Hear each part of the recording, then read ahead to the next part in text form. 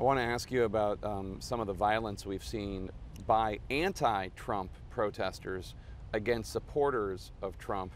Some of these people who have been very violent uh, have been seen with your signs, Bernie Sanders signs, uh, chanting your name. Do you condemn the violence? I condemn it absolutely. And let's be very clear. I mean, we got millions and millions of people who are supporting us.